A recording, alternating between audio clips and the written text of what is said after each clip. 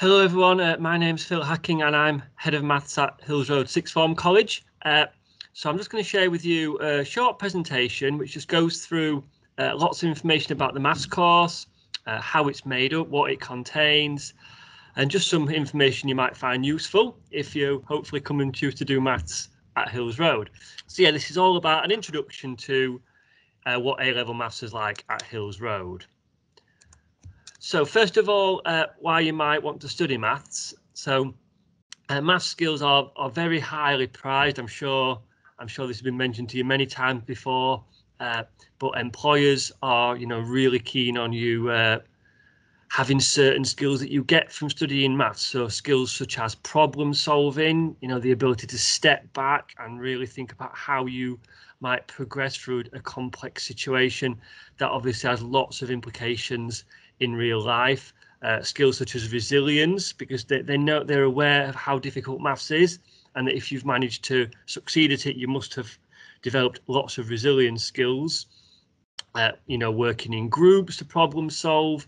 Uh, so they're, they're a few of the skills that employers would would value. Universities on, on a similar theme. There's, there's many there's many courses at university that really really value maths or some will actually insist on maths, but even the courses that don't insist on maths, they'll really value that as an A level because you've because of the skills that I mentioned before that you must have you must have to have succeeded in maths. Uh, also, an important one is earnings. Uh, there's been there's been various studies about this over the years, but generally it's been found that students who've got A level maths have generally earned more than those that haven't. There's, there's been many studies, but there was one in particular from 2011, I think, at the London School of Economics. They found out that on average, you can expect to earn 10% more through your out your lifetime if you've studied A-level maths, which obviously is, is very nice to have. So uh, next kind of point is that maths is at the heart of many existing and potential future industries, many that you're probably not even aware of. So lots of computer games and graphics rely very heavily on on kind of vector and matrix geometry. Uh, so Call of Duty, for example, relies very heavily on vectors. You probably studied vectors at GCSE. Probably never thought that it had that kind of implication, but it does. Internet search engines basically work by solving systems of simultaneous equations and using them in matrices. So if you've done simultaneous equations at school and thought, how is that useful? Well, Google in particular basically uses use works by solving systems of simultaneous equations. And lots of statistical modeling i'm sure you, you you this comes up in the news all the time but statisticians are always producing models and those models are basically using maths to generate them.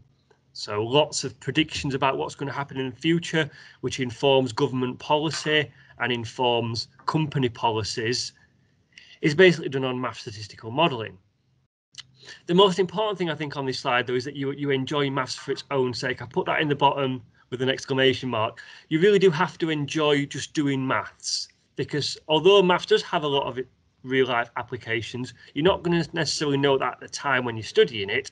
And a lot of the time you're just going to be studying, you know, rigorous algebraic proof and manipulation. And you've got to enjoy doing that. You know, if you don't enjoy working through, you know, a long 10 line maths proof or a long 10 line bit of algebraic manipulation and you, you know you're not you're not going to enjoy the maths course because that's what we're going to be doing most of the time. So if you really really get a buzz out of solving problems and getting them right then that is the most important thing for the moment So what will you study in A-level maths? So as I've just I've just mentioned on the last slide about algebra, two thirds of the course is what we call pure maths. And pure maths essentially is just algebraic skills, but we, we apply algebraic skills to lots of different contexts.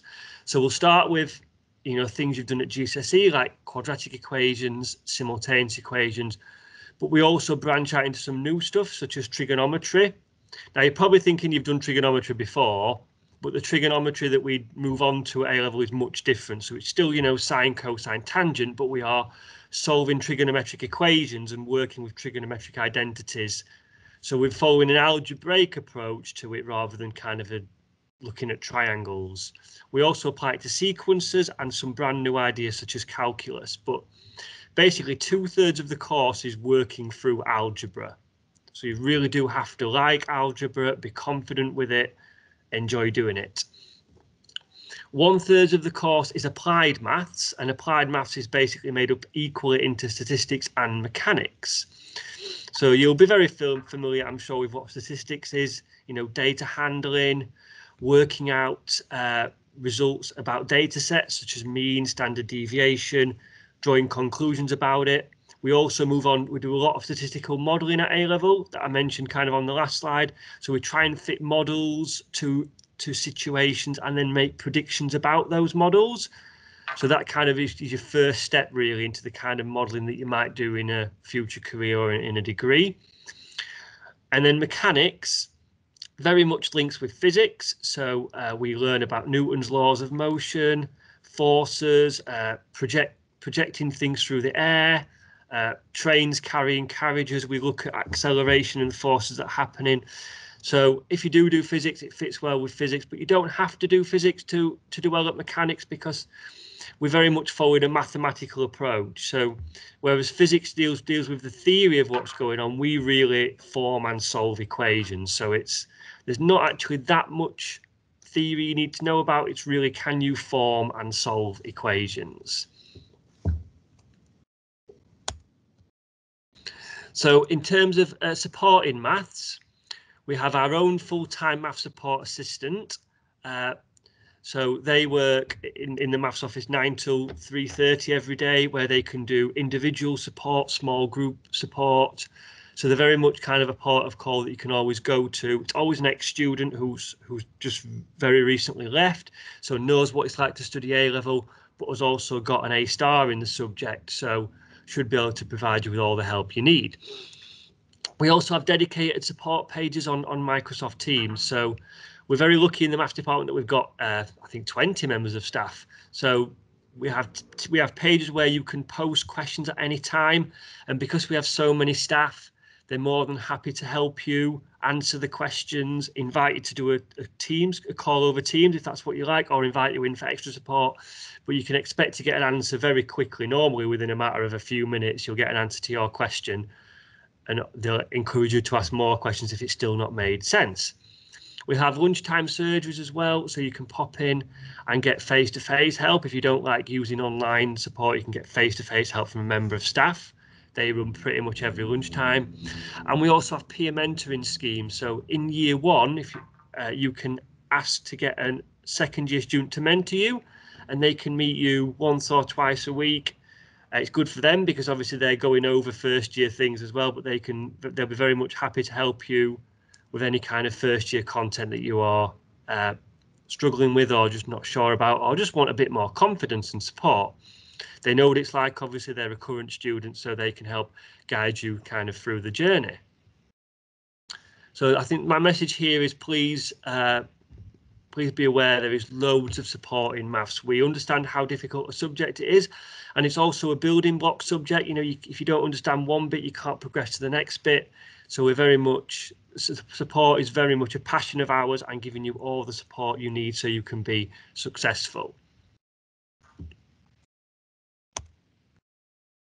So how does assessment take place in maths? So uh, in terms of external assessment to get your grades, if you do maths, you have three two-hour written exams, and at the end of year two, th how it works in A-level maths is your first exam is pure maths only. So first two-hour exam is just pure maths, two hours, 100 marks. The second exam is half pure, half mechanics.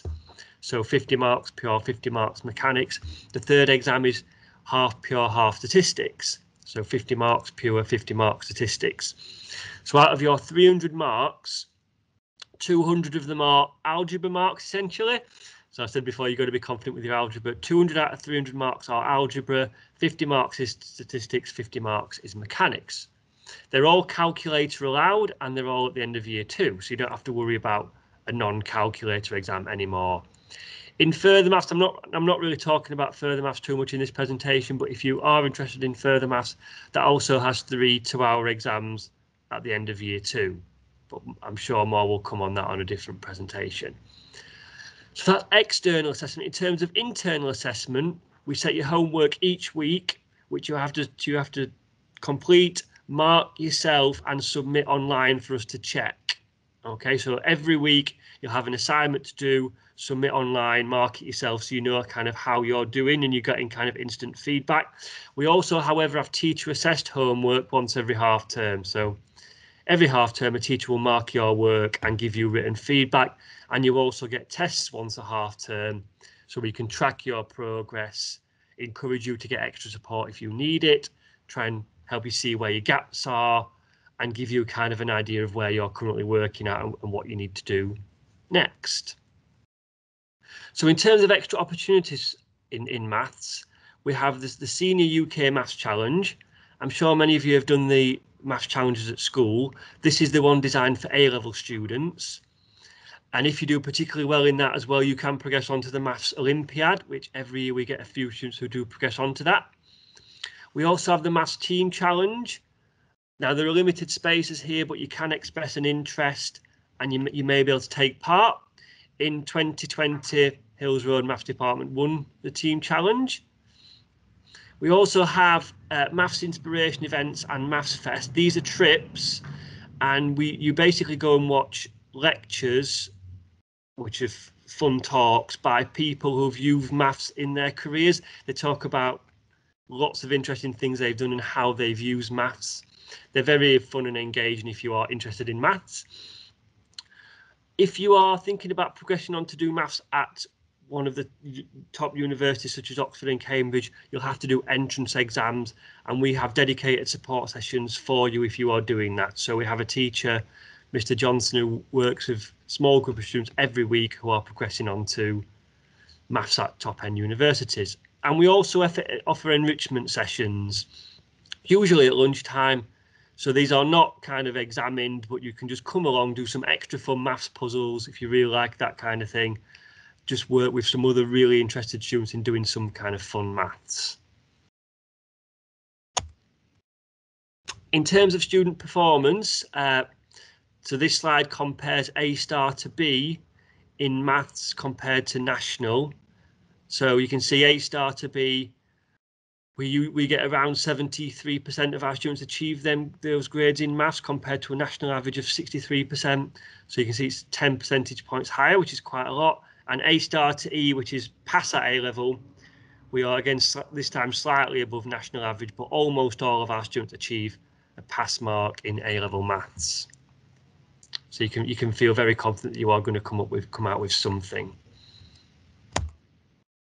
In terms of destinations, I mentioned earlier that you know maths leads on to lots of different careers and university courses. So you can see down, down the right hand side here the courses that our students go on to. So some of them are prob you probably expected, like maths, economics, physics, but also history, architecture, you know, engineering, filmmaking, even. So lots and lots of courses and careers are opened up by doing maths. It's not just a case of going into STEM subjects. It's a really valued course for lots of different careers. And you can see that most of our students, 93% do go on to university, but also a few have used their maths in employment and apprenticeships. So uh, that concludes the presentation. Uh, thank you for listening and hopefully I'll be able to talk to you further about Hills Road Maths.